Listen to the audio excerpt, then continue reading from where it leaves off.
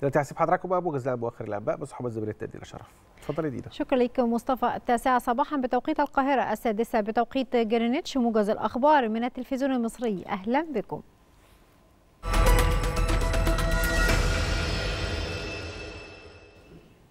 أجرى الرئيس عبد الفتاح السيسي اتصالا هاتفيا بالرئيس الأمريكي السابق دونالد ترامب للاطمئنان على صحته عقب تعرضه لحادث إطلاق النار متمنيا له السلامة. وجدد الرئيس السيسي الإدانة لجميع أشكال العنف وأعمال الإرهاب والكراهية. كما نوه الرئيس السيسي إلى الروابط الوثيقة بين الشعبين الصديقين وعمق الشراكة الاستراتيجية بين البلدين وهو ما ثمنه ترامب الذي توجه بالشكر للرئيس السيسي على اللفتة الكريمة.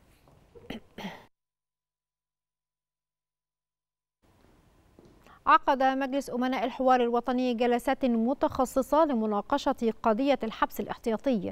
وأوضح مجلس أمناء الحوار الوطني في بيان أن الأمانة الفنية للمجلس سوف تعكف على مراجعة المقترحات واستكمال تلقي التوصيات تمهيدا للوقوف على صياغتها النهائية.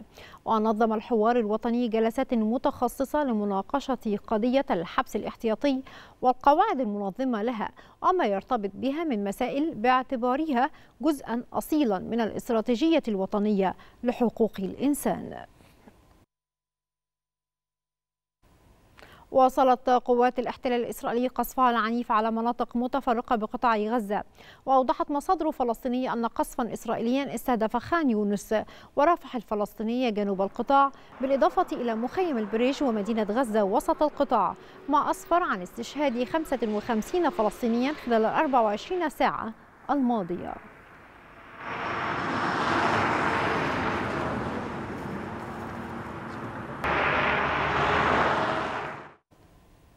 تجمع مئات المحتجين داخل مبنى الكونغرس الأمريكي للمطالبه بوقف الحرب على غزة قبل يوم من خطاب رئيس الوزراء الإسرائيلي بنيامين نتنياهو أمام جلسة مشتركة لمجلسي المؤسسة التشريعية. وخلال التجمع شكل المشاركون حلقات دائرية داخل المبنى وهم يلبسون قمصانا حمراء في إشارة إلى حجم المجازر في قطاع غزة. ورفع المحتجون شعارات تطالب بالحرية لفلسطين ووقف الحرب على غزة والكف عن تزويد إسرائيل بالأسلحة.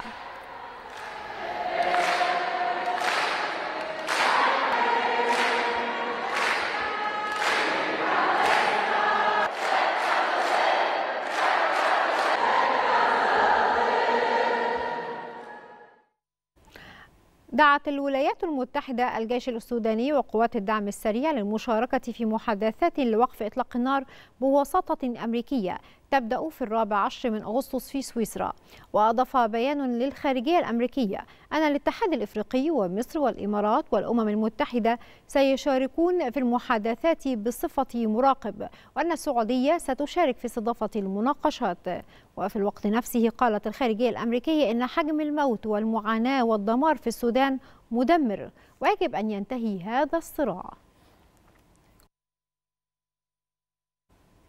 وخلال أول تجمع لها في حملتها الانتخابية بولاية ويسكونسن قالت كاميلا هاريس إن مرشح الحزب الجمهوري للانتخابات الرئاسية دونالد ترامب يريد إرجاع الولايات المتحدة إلى الوراء.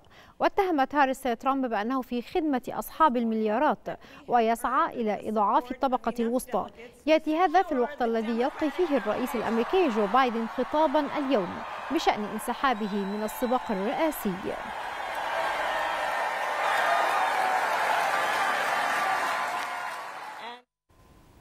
ورياضيا. يبدأ اليوم منتخب مصر الأولمبي لكرة القدم مشواره في أولمبياد باريس بمواجهة منتخب جمهورية الدومينيكان. يأتي اللقاء ضمن الجولة الأولى لدور المجموعات. كما يلتقي أوزبكستان في 27 من يوليو ضمن الجولة الثانية ويختتم مشواره في دور المجموعات بمواجهة إسبانيا في الثلاثين من الشهر الجاري.